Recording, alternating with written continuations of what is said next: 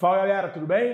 Eu sou o professor Emerson Oliveira e hoje a gente vai comentar um assunto que a gente usa o tempo todo no nosso cotidiano, que são as figuras de linguagem, beleza?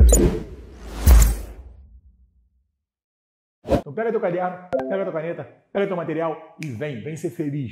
Bem, galera, seguinte, hoje a gente vai falar do processo de figuras de linguagem. Bem, o processo de figuras de linguagem nada mais é do que uma estrutura estilística que a gente utiliza no nosso cotidiano para dar mais expressividade para a nossa linguagem, né? Para deixar nossa fala muito mais rica de situações, beleza? Você já imaginou a sua vida sem as figuras de linguagem, que são muito norteadas pela relação de conotação? Imagina, cheguei em casa, cara, quebrei a cabeça para fazer a questão. Né? Tua mãe escuta, pensa no sentido denotativo, no sentido real. Meu Deus, meu filho fraturou a cabeça. Vamos levar ele para o hospital. Ou seja, aquele sentido ali não era o sentido de fratura, né? Era o sentido de você ter dificuldade para trabalhar em cima daquela questão. Então, a gente utiliza o tempo todo esse processo de conotação em cima das figuras de linguagem para dar maior expressividade para a nossa linguagem, para trabalhar muito mais riqueza em cima das formas de fala, beleza? Então, isso tudo é fundamental na no nossa utilização de dia a dia, beleza? Primeira figura de linguagem que a gente vai trabalhar são as figuras de palavra, onde eu vou utilizar as palavras para dar mais expressividade aos meus elementos. Então vem para cá. Primeiro, primeira figura de palavra que a gente vai trabalhar é justamente o processo de comparação, beleza? A comparação a gente também pode chamar de símile, beleza? Eu também tenho essa forma de denominação dessa figura de linguagem, beleza? O que vai acontecer? Quando eu tenho uma comparação, eu tenho todos os elementos comparativos, ou seja, eu vou ter a forma explícita da utilização dessa comparação. Quando eu falo o homem é como o leão, precisa de liberdade, repara que eu estou fazendo a comparação entre o homem, beleza? E o The Lion, aqui ó, meu leãozinho. Só que tem um detalhe que é fundamental nessa história.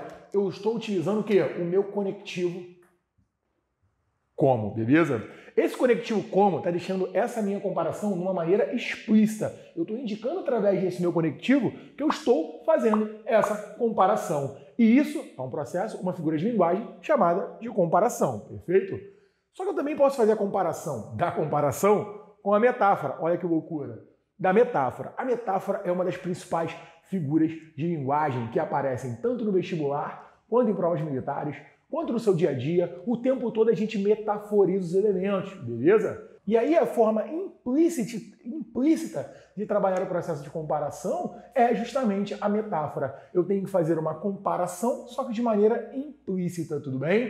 O que, que acontece? vou ter basicamente o mesmo exemplo aqui no meu processo de metáfora que eu trabalhei em cima do meu processo de comparação. Quando eu falo que o homem é um leão, repara, eu continuo fazendo o meu processo comparativo entre o homem e o leão, beleza? Só que como eu não tenho a comparação, como eu não tenho o conectivo comparativo, como eu não tenho a característica que relaciona o homem e o leão, eu estou trabalhando isso de maneira implícita. Essa forma implícita me remete a um processo de metáfora, tudo bem?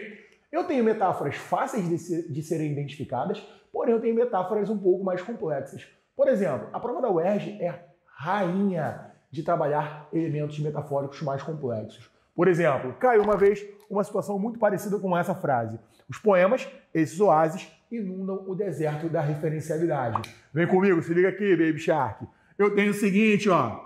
Eu estou fazendo um processo de comparação entre poemas e quem? Os oásis, beleza? São pontos de água dentro do meu deserto. Show de bola? Da mesma forma, como eu estou comparando os meus, o meu deserto com o processo de referencialidade. Beleza? Então reparem que eu tenho esses dois processos comparativos aqui. O que ele quis dizer com essa frase? Vamos pensar no processo de linguagem? Bem, quando ele pensa nessa relação de poemas como oásis, e quando ele pensa nesse processo de deserto e de referencialidade, pensa comigo, o que é uma linguagem referencial? É a linguagem denotativa, é que a gente utiliza no nosso sentido literal. E aí, meu parceiro, o que vai acontecer? Eu tenho aqui um desertão. Vamos pensar aqui como um desertão? Aqui, ó. Pensa que isso aqui é o Saara. Show de bola. Tem o meu Saara aqui. Beleza? Olha o tamanho do deserto. Muito grande. Mas eu tenho pequenos pontos de água dentro desse deserto. Beleza? aqui, ó, que são os meus poemas, onde nos poemas a gente vai trabalhar a linguagem mais conotativa. Ou seja, galera, quando eu trabalho esse meu processo, quando eu trabalho esse processo de comparação entre poemas e oásis, estou comparando os dois e também estou comparando o deserto com referencialidade. Então tenho duas metáforas em cima dessa mesma frase.